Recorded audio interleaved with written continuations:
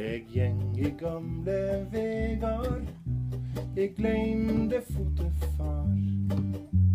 Der før eg slo i tegar ved sida av han far.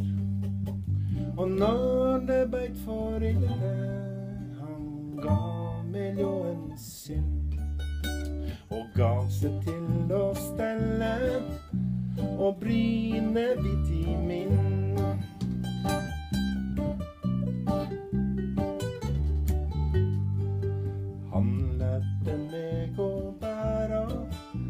Ei heiberank og bein. Det beste da i verda var far sin hvilestein. Det var så godt å hvila der skikken gro var. Og drøyme litt i stilla om alt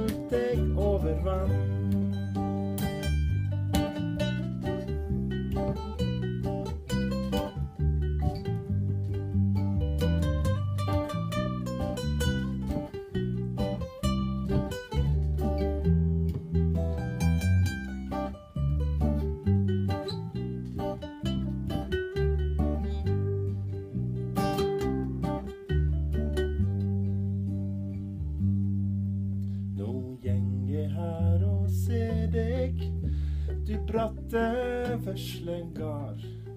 Du gløymt og fattig til deg, mot tritida rik og hard. For far kan ikkje bryna min vesle sløve nå. Og heller